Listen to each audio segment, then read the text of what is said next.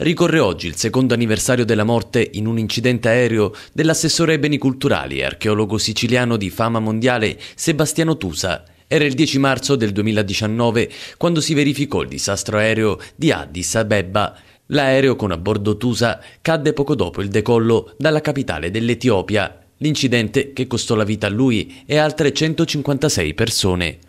A due anni dalla scomparsa, il ricordo di Sebastiano Tusa è ancora vivo nella memoria di quanti hanno avuto la possibilità di conoscerlo. La regione siciliana ha voluto dedicare all'archeologo la giornata dei beni culturali con l'apertura gratuita nella giornata di oggi di musei, parchi e gallerie. A Palermo hanno inoltre preso il via i lavori di recupero conservativo della cappella del Santissimo Crocifisso all'interno della chiesa di San Domenico, luogo scelto per accogliere le spoglie dell'ex assessore regionale. La sorella Lidia ha voluto ricordarlo con la pubblicazione di un video con delle foto di famiglia che mettono in evidenza il lato privato dello stimato archeologo.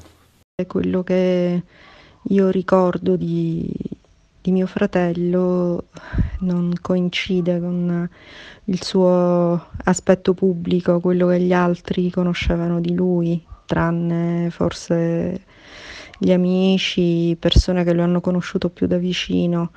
Eh, so che, che lui viene ricordato, viene lodato per la sua cultura, per la sua intelligenza, per le cose che ha saputo realizzare, anche per certi tratti del suo carattere che erano l'umiltà, la semplicità e non, diciamo, non essere superbo, non essere lontano dalle persone, ma cercare sempre di, di mettersi nei panni degli altri.